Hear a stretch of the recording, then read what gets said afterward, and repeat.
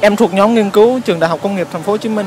Em đang tiến hành nghiên cứu các yếu tố ảnh hưởng đến sự, lựa chọn các thương hiệu thức ăn nhanh. Anh có thể giúp em hoàn thành bằng khảo sát này đúng không ạ? À, ok. Anh cho em hỏi anh thường xuyên sử dụng các sản phẩm thức ăn nhanh không ạ? Ừ, cũng à, cũng thỉnh thoảng. Thỉnh thoảng à. Rồi, thương hiệu thức ăn nhanh nào mà anh chị thường xuyên thử sử dụng ạ? À, KFC, Burger King với lại Pizza Hut.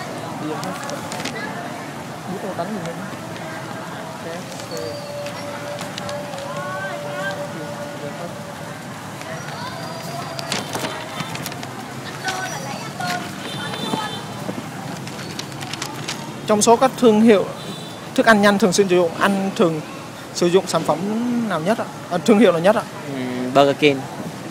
Burger King. Vâng. Anh đánh giá mức độ quan tâm của mình vào bảng dưới đây dùm em nhé.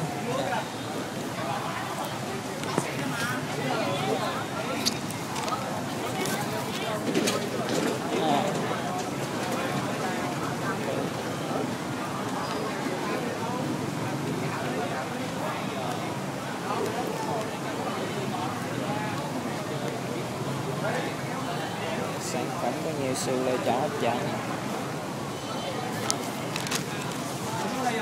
Giá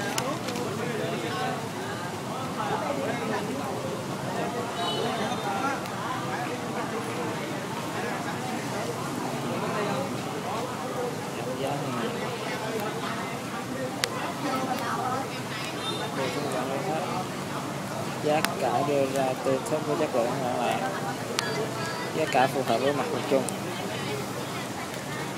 Nhưng tới hữu hình bàn ghế sẽ vị vị trí của hàng giữa biết của còn đánh giá chung này. Đánh chung đánh này à,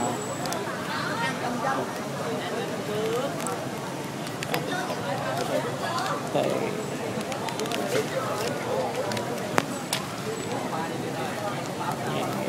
à, nhập là cái này cái là ghi tầm